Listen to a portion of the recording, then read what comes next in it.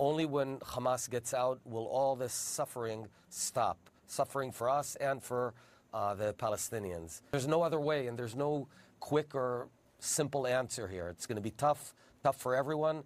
That's why we need the backing to follow this through. Otherwise, it's going to go on forever.